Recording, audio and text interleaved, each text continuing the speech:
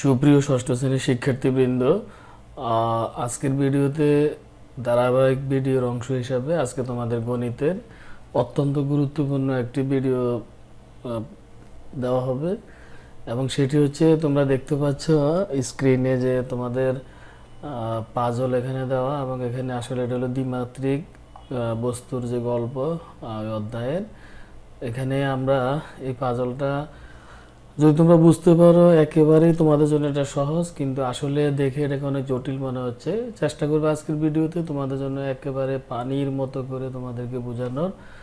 আশা করি তোমরা সহজে বুঝতে পারবে, সহজে এটা করতে পারবে। ভিডিওটি একবারে প্রথম থেকে শেষ পর্যন্ত দেখলে তোমরা নিজের এটা সলভ করতে পারবে। পাশাপাশি যারা ইতিমধ্যে আমাদের চ্যানেলটি সাবস্ক্রাইব করেছ, তোমাদেরকে অসংখ্য ধন্যবাদ। যারা এখনও সাবস্ক্রাইব করোনি, তোমাদের রিকোয়েস্ট করব তোমরা সাবস্ক্রাইব করে আমাদের সাথে থাকবে। এবং প্রতিদিন তোমাদের জন্য একটি করে ভিডিও দেওয়ার চেষ্টা করবে ইনশাআল্লাহ। এখানে দেখো আমাদের যে ছবি দেওয়া আছে এখানে অনেক সুন্দর করে যে এখানে দেওয়া আছে একটা শ্রেণীকক্ষ লেখা। তো শ্রেণীকক্ষের মধ্যে এখানে আমরা যেটা দেখতে পাচ্ছি, ছবিতে এটা আসলে একটা মনে হয় মানে আমরা আয়তক্ষেত্র। তার মানে শ্রেণীকক্ষটা হলো একটা আয়তকার। আবার এর উপরে যেটা দেওয়া আছে, এখানে আরেকটা দেখো চিত্র। এবং এটা আমরা শ্রেণীকক্ষে তো সাধারণত আমরা জানি যে এরকম থাকে। তো এই উপরে এই অংশটা কিন্তু আবার এটা হলো ট্রাপিজিয়ামের মতো চিত্র আমরা দেখতে পাচ্ছি গণিতের। তো এখানে কতগুলো মাপ দেওয়া আছে যে কোন বাহু যেমন এটা এখান থেকে একবার এই পর্যন্ত এটা পুরোটা হলো আঠাশ একক। আবার শ্রেণীকক্ষের এটা আমরা যেটা প্রস্থ বলি, এটা বিশ একক এবং দৈর্ঘ্য হচ্ছে তিরিশ একক। এখানে আবার দেখো ট্রাপিজিয়ামের এক বাহু পনেরো একক, আর এই বাহু অবশ্যই তিরিশ একক যেহেতু এটা সমান। এখানে আবার দশ একক দেওয়া আছে। যেমন এটা এই বাহু এটা দশ একক। এটা এখানে কোশ্চেন মার্ক দেওয়া। তো মূলত আবার এই পাশে একটা লাল দেখার টাইলস এটা হলো বর্গাকার টাইলস সাত একক করে। এখানে মূলত আমাদের ক নাম্বার বলছে শ্রেণীকক্ষের ছবিটি পূরণ করতে কতটি টাইলস প্রয়োজন হয়েছে। মানে এই শ্রেণীকক্ষের ছবিটি পূরণ করতে তোমার কতটি টাইলস লাগবে এটা বের করা। আর এটা তোমরা পঞ্চম শ্রেণীতে করেছ।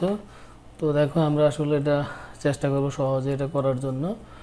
এখানে আমরা যেটা এফ ই ডি সি এটা এটা হলো একটা আয়তকার শ্রেণীকক্ষ। তোমরা যেটা লিখবে,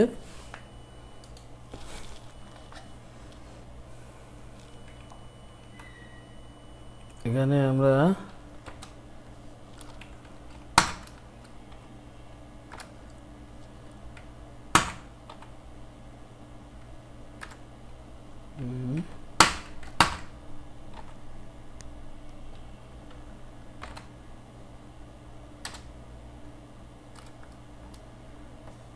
এটা আমাদের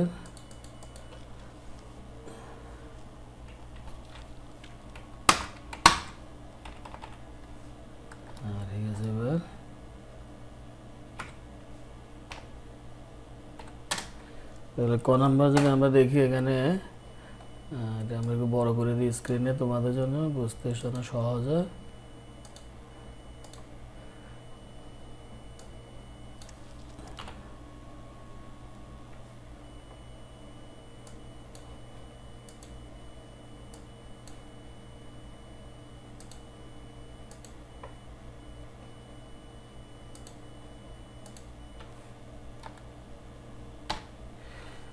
আমরা যেটা লিখলাম যে মনে করি এপিডিসি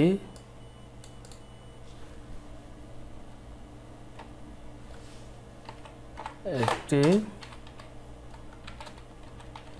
আয়তকার শ্রেণি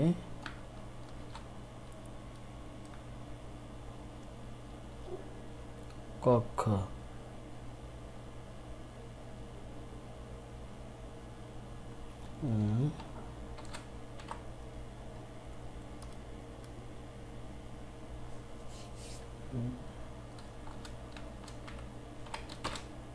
শ্রেণীকক্ষ।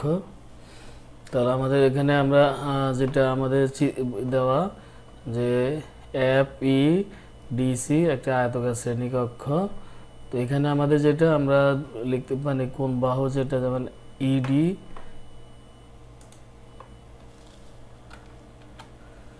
শ্রেণীকক্ষ এখানে আমরা লিখব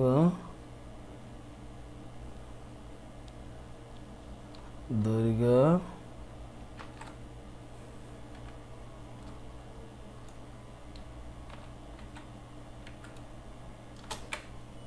এটা সহজের জন্য এটা দিয়ে দিচ্ছি। দৈর্ঘ্য এটি সমান আমাদের হচ্ছে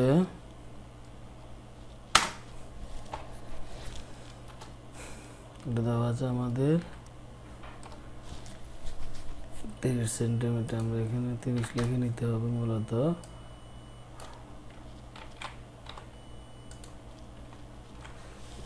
দৈর্ঘ্য ইডি সমান আমাদের দেওয়া আছে তিরিশ একক।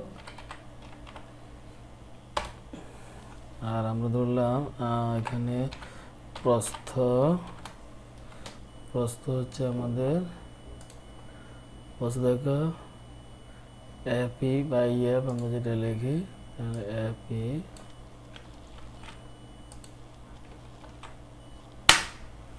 প্রস্থ এপি সমান হলো আমাদের আমরা লিখি বিশ একক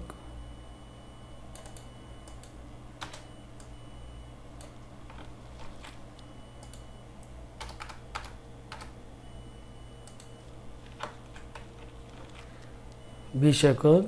তাহলে আমাদের, আমরা যেটা লিখলাম যে আমাদের এখানে এপিডিসি এটা হলো একটা আয়তকার শ্রেণীকক্ষ এখানে যে মাপ দেওয়া আছে যে আমাদের এফ ইডি এবং হলো এপি তাহলে আমাদের অ্যাপি হলো প্রস্থ, এটা বিশ একক এবং ইডি এটা হলো আমাদের দৈর্ঘ্য, এটা তিরিশ একক।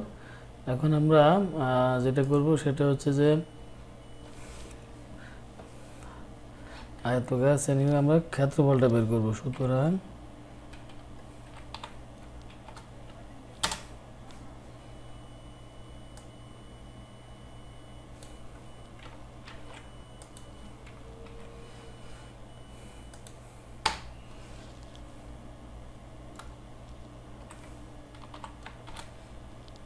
শ্রেণীকক্ষের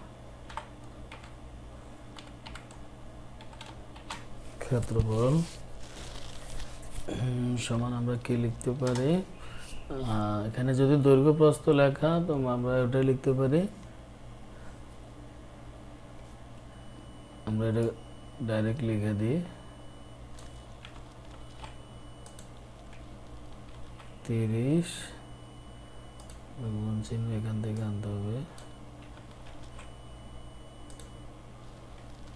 উম, গুণ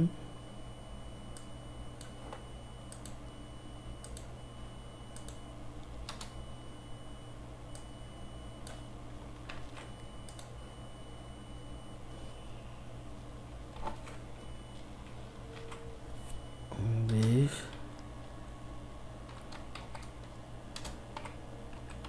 বর্গ একক। আমরা সমান সমান কত পেলাম? তাহলে তিরিশ এবং বিশ, এটা গুণ করলে কত হয়? তোমরা দেখো। তিরিশ গুণ বিশ। সমান হলো ছয়শো। তা আমরা এখানে লিখব ছয়শো বর্গ একক। ছয়শো বর্গ একক। এখন আমরা একটা অংশ পেয়েছি যে আসলে শ্রেণীকক্ষের আমরা ক্ষেত্রফল পেয়েছি। তো তোমাদেরকে আমি সহজে বলি যে কোনো কিছু কয়টি টাইলস লাগবে, কয়টি মাদুর লাগবে, কার্পেট লাগবে, এরকম হলে আমরা সাধারণত যে অঙ্ক করি, সেটা হচ্ছে আমাদের শ্রেণীকক্ষের ক্ষেত্রফল বের করা এবং টাইলসের ক্ষেত্রফল আমরা বের করি এটাও করে এইভাবে করাটা সহজ। তো আমরা এইভাবে করব। এখন আমাদের টাইলস যেহেতু সাত একক করে দেওয়া আছে, তার মানে একটা বর্গাকার টাইলস। এখন আমরা লিখব আবার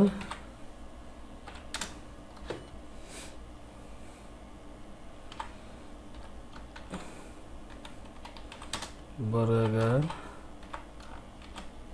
টাইলসের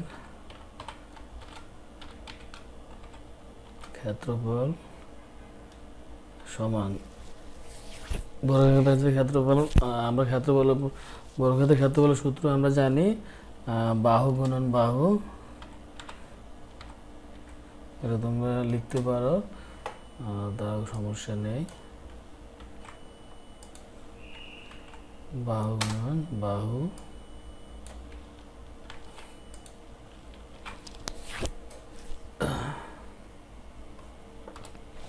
সমান আমরা কি লিখতে পারি? বর্গরাজ্যের ক্ষেত্রফল। যেহেতু সাত দেওয়া আছে, তাহলে সাত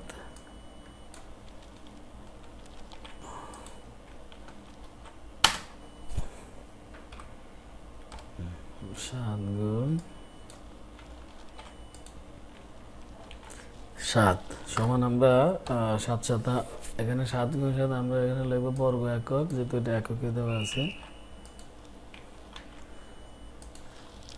তো সাত কত? উনপঞ্চাশ উনপঞ্চাশ বর্গ একক। দেখো তাহলে আমরা কি পেলাম?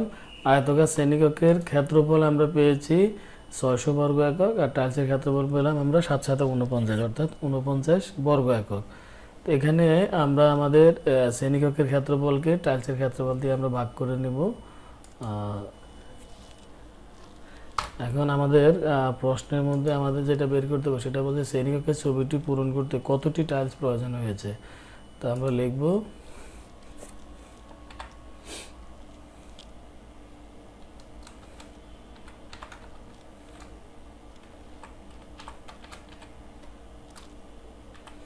শ্রেণীকক্ষের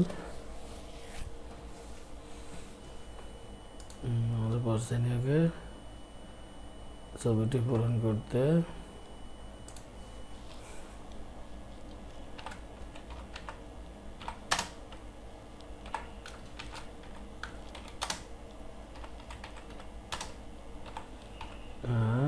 টাইলস টাইলস প্রয়োজন হবে। তোমরা কি লিখবে? জেনারেল টাইলস ছয়শো।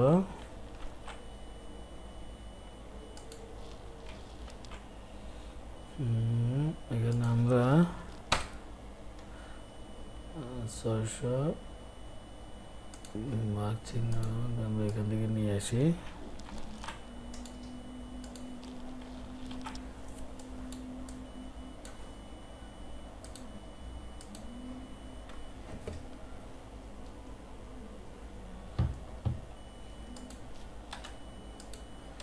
ছয়শো ভাগ এখানে আমরা দেবো উনপঞ্চাশ